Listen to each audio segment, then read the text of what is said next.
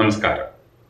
മനുഷ്യരുടെ ജീവിതത്തിൽ എങ്ങനെയാണ് ആധികളും അതുപോലെ തന്നെ പ്രയാസങ്ങളും അതുപോലെ തന്നെ ജീവിതം ദുഷ്കരമാകുന്ന സാഹചര്യങ്ങളും ഉണ്ടാകുന്നത്. രണ്ട് കാരണങ്ങളാണ് പ്രധാനമായിട്ടും ഒരു വ്യക്തിയുടെ ജീവിതം ദുസ്സഹമായിട്ട് മാറുന്നതിന്റെ കാരണമായിട്ട് വരുന്നത്. അതിലൊന്നാമത്തേത് ശാരീരിക പ്രശ്നങ്ങളാണ് അഥവാ രോഗാവസ്ഥ. രണ്ടാമത്തേത് മാനസികമായിട്ടുള്ള പ്രശ്നങ്ങളാണ്. ഇത് രണ്ടും ആൾക്കാരെ കാര്യമായിട്ട് തന്നെ അലട്ടുന്നുണ്ട്. എന്നാൽ നമ്മൾ നോക്കിക്കഴിഞ്ഞാൽ ശാരീരിക പ്രശ്നത്തെക്കാൾ ഏറെ ഒരു കുടുംബത്തെ അല്ലെങ്കിൽ ഒരു വ്യക്തിയെ ഉലയ്ക്കുന്നത് മാനസിക പ്രശ്നമാണ്. കാരണം ഒരു വ്യക്തിക്ക് ശാരീരികമായിട്ട് ഏതെങ്കിലും തരത്തിലുള്ള രോഗാവസ്ഥയുണ്ട് പ്രശ്നമുണ്ട് എങ്കിൽ അത് ആ വ്യക്തിക്ക് തീർച്ചയായിട്ടും വളരെയധികം വിഷമമുണ്ടാക്കുന്ന ഒരു കാര്യമാണ് എങ്കിലും അയാളുടെ ഒപ്പമുള്ളവർക്ക് അതുമൂലം അയാൾക്ക് അങ്ങനെ ഒരു അവസ്ഥ ഉണ്ടായി എന്നുള്ള വിഷമം തീർച്ചയായിട്ടും ഉണ്ടാകുമെങ്കിലും മറ്റൊരു തരത്തിൽ അവരുടെ മനസ്സമാധാനത്തെ അത് തകർക്കില്ല.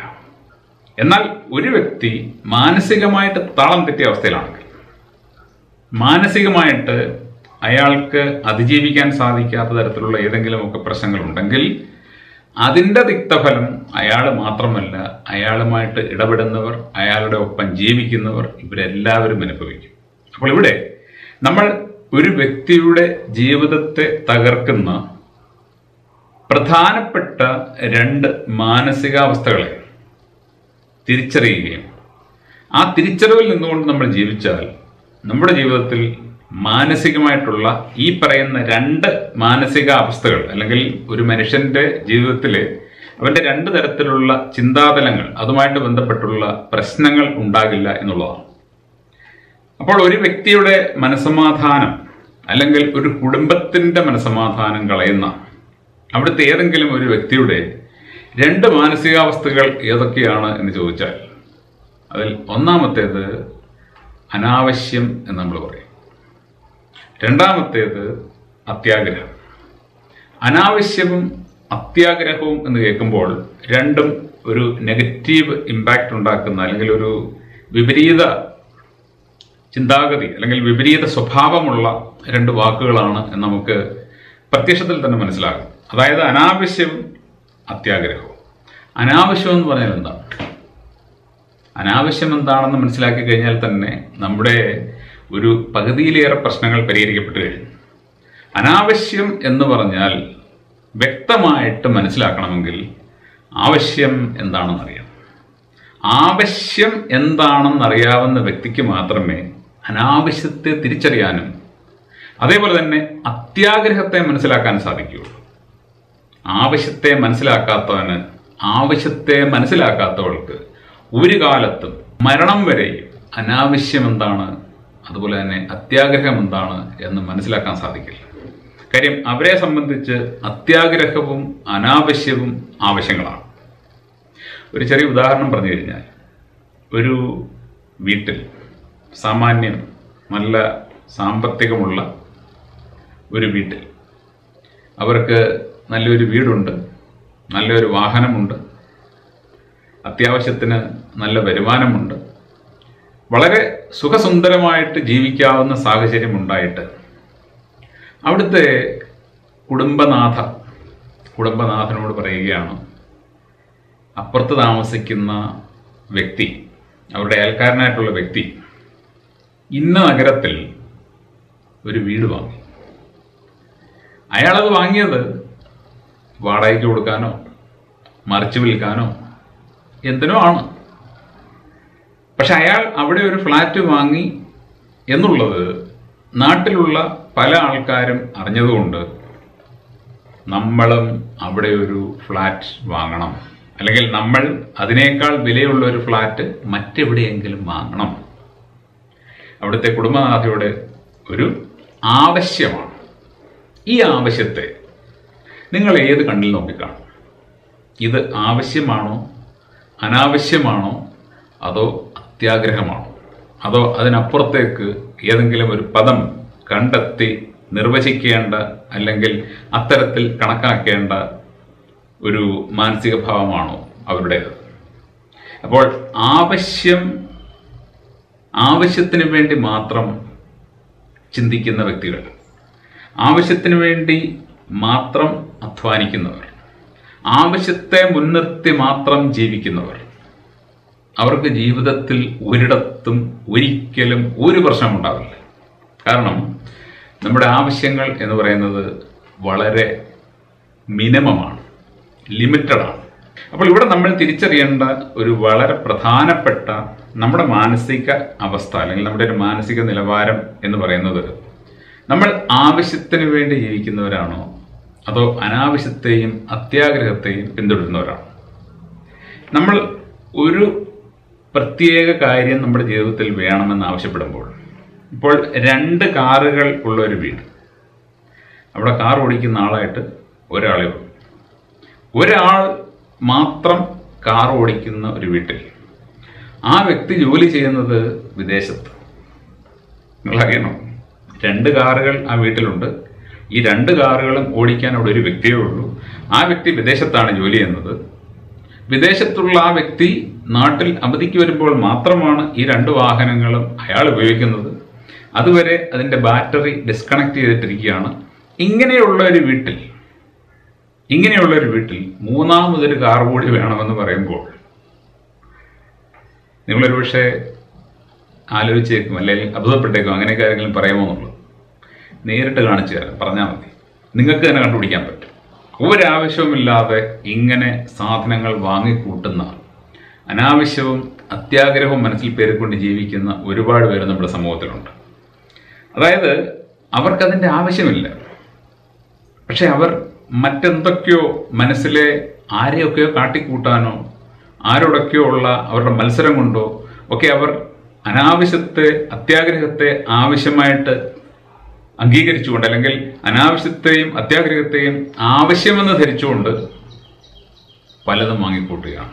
അവരറിയാത്തൊരു വലിയൊരു സത്യം എന്താണെന്ന് ചോദിച്ചു കഴിഞ്ഞാൽ നമ്മുടെ കയ്യിൽ പണമുണ്ടെങ്കിൽ നമുക്ക് എന്തും വാങ്ങാമെന്നും അങ്ങനെ നമ്മൾ വാങ്ങുന്ന സാധനത്തിന്റെ ഉടമസ്ഥത നമുക്കായതുകൊണ്ട് നമുക്കത് വേണമെങ്കിൽ ഉപയോഗിക്കാമെന്നോ വലിച്ചെറിയാമെന്നോ ഒക്കെ നമ്മൾ ചിന്തിക്കുന്നു.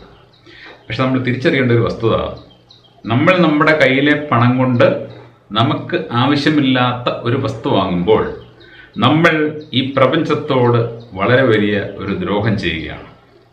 ഈ പ്രപഞ്ചത്തിലെ റിസോഴ്സസ് മോഷ്ടിച്ചോ ചൂഷണം ചെയ്തോ ഒക്കെ സ്വന്തം ആയിട്ട് കരുതി വിപണനം ചെയ്ത് പണമുണ്ടാക്കുന്ന ചില കോർപ്പറേറ്റുകൾ ചില വമ്പന്മാർ ഈ ലോകത്തുണ്ട്.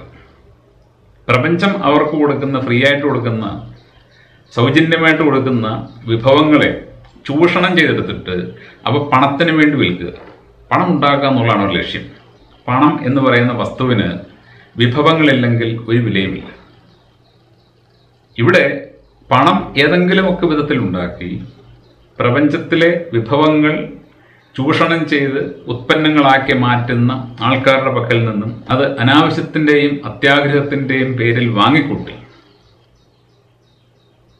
ഒരു വ്യക്തി സ്വന്തമാക്കുമ്പോൾ അയാൾ യഥാർത്ഥത്തിൽ പ്രപഞ്ചത്തിൽ ആ വിഭവമായിട്ട് തന്നെ നിലനിൽക്കുമായിരുന്ന പല ഉത്പന്നങ്ങളുടെയും ചൂഷണത്തിന് സമ്മതം കൊടുക്കുകയും അയാൾ തന്നെ അയാൾക്ക് വേണ്ടാത്ത പലതും വാങ്ങിക്കൂട്ടി പ്രപഞ്ചത്തിൽ അതേപടി നിലനിൽക്കേണ്ടിയിരുന്ന പലതിനെയും ഇല്ലായ്മ ചെയ്യുമാണ് അപ്പോൾ നമ്മുടെ ആവശ്യവും അനാവശ്യവും അല്ലെങ്കിൽ നമ്മുടെ മനസ്സിന്റെ ആവശ്യം അനാവശ്യം അത്യാഗ്രഹം എന്നീ പറയുന്ന മൂന്ന് തലങ്ങളെ നമുക്ക് വ്യക്തമായിട്ട് മനസ്സിലാക്കാൻ സാധിച്ചാൽ നമുക്കൊന്ന് പ്രപഞ്ചത്തെ നശിപ്പിക്കാതെ അതായത് ഈ ലോകത്തുള്ള സകല ആൾക്കാരും അവരുടെ ആവശ്യം മാത്രമാണ് പ്രധാനം.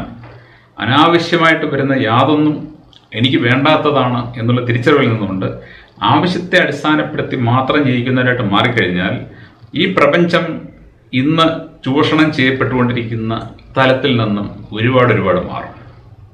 കാര്യം മനുഷ്യർക്ക് മനസ്സിലാവും നമുക്ക് സർവൈവലാണ് പ്രധാനം.